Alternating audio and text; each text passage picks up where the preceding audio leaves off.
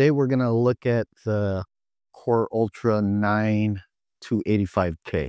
They recently came out with a new BIOS update uh, called the 200S Boost. All right, let's get to it. All right, so the first benchmark that I did was Cyberpunk 2077 using the benchmark tool. Had a ultra preset, scaling's off, no RT, no frame gen, and these are the average FPS results plus the 1% lows.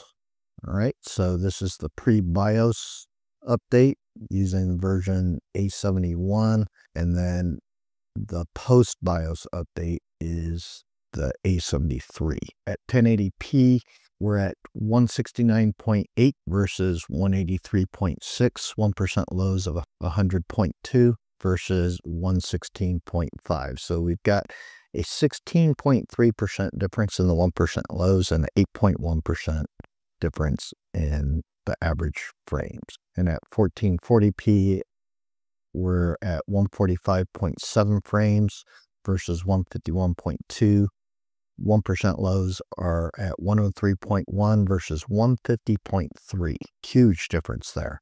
And so we're at 45.8% difference in the 1% lows at 1440p and a gain of about 3.8% at 1440p on average FPS. And at 4K, we're at 74.6 frames a second versus 75.2 and at the 1% lows, we're at 54.5 versus 55.7. So 2.2% difference on the 1% lows and 0.1% on uh, the average FPS. So not a whole lot of difference there at 4K. Then on Black Myth Wukong's benchmark tool, we've got it on very high preset. Scaling's minimized on TSR. No ray tracing, no frame gen. And so we're at 134.3 versus 134.7 at 1080p, 90.8 versus 105.8 on the 1% lows, 122.8 at 1440p versus 124.1, 78 on the 1% lows versus 96.9. At 4K, we're at 107.5 versus 107.3 and 1% lows 63.7 versus 75.1. So at 1080p, our 1% low differences, we've got a gain of about 16.5%. And on the average frame rates, not really any gain.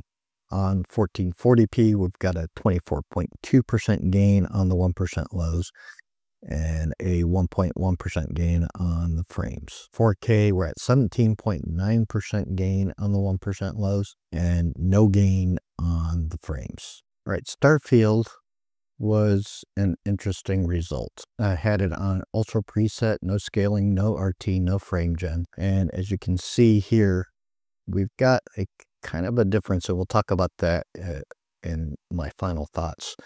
But Right here, we've got 121.8 versus 136.2 at 1080p with 1% lows at 84.9 versus 80.6. 1440p, we're at 118.2 versus 117.9 and 1% lows of 84.6 versus 73.7. At 4K, we're at 91.8 versus 91.2 and 1% lows at 62.1 versus 69.5. And so we've got at 1% lows at 1080p, we've got a, we lost 5.1% of performance there, but we gained in overall frames at 11.8. And then at 1440p, we lost 12.9% at 1% lows, and we lost about 0.3% on the average frames, which is negligible enough for it to be called a run variance. 4K, we gained 11.9% on the 1% lows and lost about 0.6% on average frames. But again, uh, probably uh, possibly another run variance there.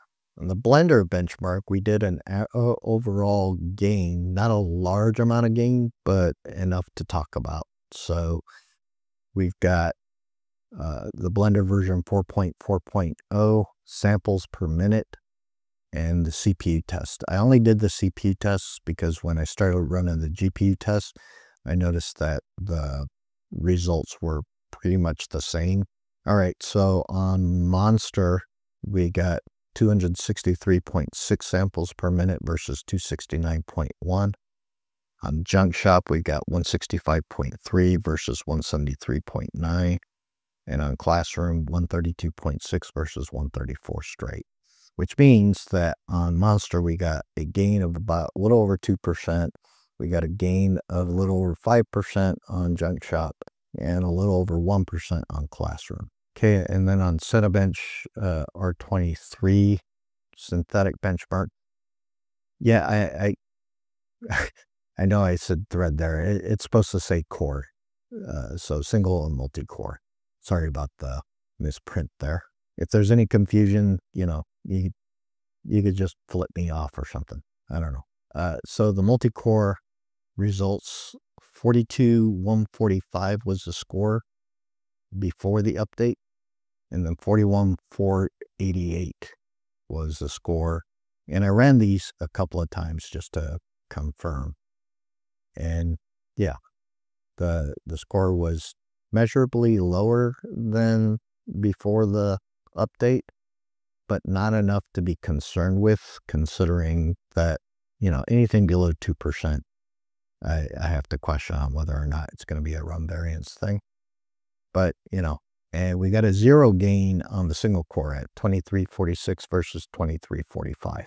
Interestingly enough, uh, I took a look at what the package temperature was for the CPU at the time of each run and how many watts were used. We were at 81C on the multi-core using 272.3 watts. We're at 81.5C on the multi-core after the BIOS update but we're using measurably less wattage at 264.4 watts, which could have been the reason why we've got that variance there between the scores.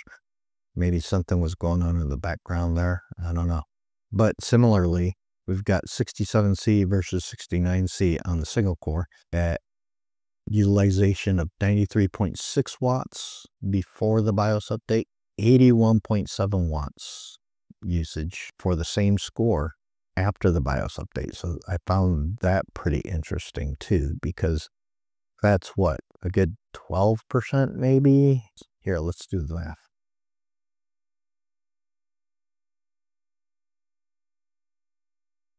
We're at what, 12.7% lower wattage usage. So that's that's actually pretty good. Well, while we're at it, let's let's do that one.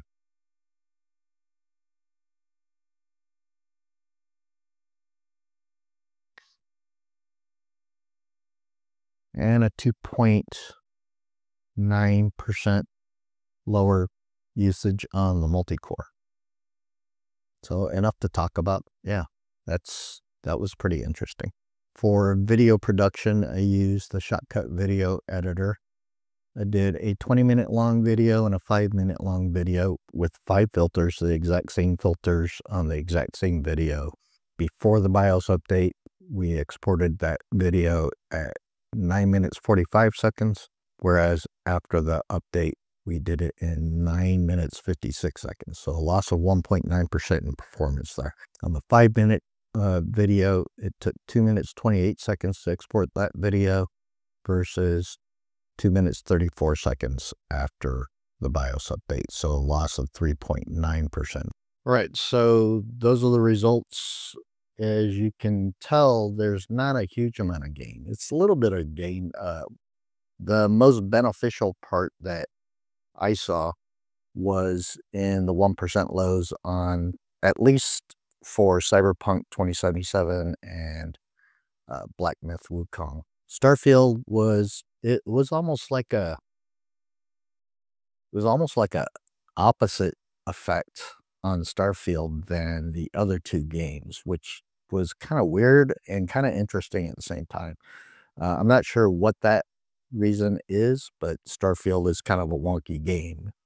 So, you know, who knows what the reason is behind that. Uh, Bethesda, Bethesda, Bethesda sometimes I have a hard time with words. Bethesda really kind of screwed the pooch on on that game.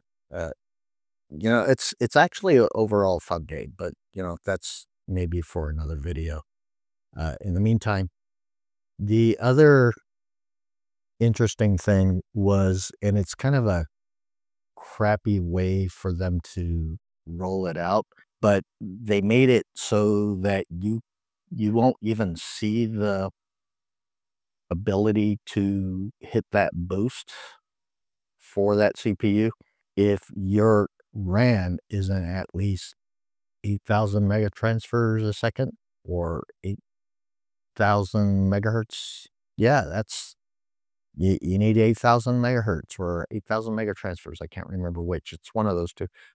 Uh, in order for it to even show up after. It. Eh, so if you do the BIOS update and you try to enable that with less than 8,000, then it won't even show up as a selectable thing in BIOS. In easy mode, it shows up on the left-hand side uh, along with the CPU boost stuff and all the other stuff like the memory tray and all that stuff that's in there. It was interesting, but come on, it, it was a little boring too, right? I mean, uh, the 285K is nothing to uh, scream home about. It's great for some productivity stuff. I might try that uh, 9950 X3D. I just uh, I I bought one uh, a little while ago when it first rolled out, and I still haven't even opened that box up yet eh, or run tests or anything with that CPU. But yeah, I I might have to take a look at that 9950X3D and maybe I'll use that for my productivity stuff. Or I might just use the 9950X3D for benchmarking because then I won't have to keep going back and forth on different platforms because it's like one of the top rated CPUs for productivity and one of the top rated CPUs for gaming. So as an overall CPU, that might be the way I, I, I might go. I might start testing everything with the 9950X3D. Uh, let me know down in the comments what you think about that, on whether or not I should do both productivity and gaming benchmarks on just the 9950X3D rather than using two to three different platforms to test out different things. So yeah, let me know. Uh, I'm curious to know what you guys think about that idea. And let me know what you think about this results. Is it surprising? Is it not surprising? Is it disappointing? Uh, you know, rumor has it that they're probably going to abandon the LGA 1851 socket system. But they, eh, there's also been talk that they're going to do a refresh on these CPUs because, you know, nobody's buying them because you know, they're not all that great. Although I hear the 265K is actually a pretty decent performer versus its price. So, you know, but then again, if they're going to abandon the LGA 1851 socket, then what's the point in investing in that CPU unless you're looking to upgrade it's not a bad price point, the 265K right now, and you you don't have to get like a Z890 motherboard. You get uh, like a B860 motherboard for cheaper. Maybe it's a big enough upgrade that you don't have to worry about upgrading your platform for the next five, six years, right? So it might not be a bad investment. Depends on the situation that you yourself are in on whether or not it makes sense. And that was the the results. So thanks for joining me. And if you got any questions or comments or suggestions or anything, uh, feel free to write them down in the comments. If you found this kind of test interesting or uh, you enjoyed the content of the videos, uh, please feel free to hit that like and subscribe button. It helps out the channel a ton. In the meantime, thanks for joining me and hope to see you in the next one.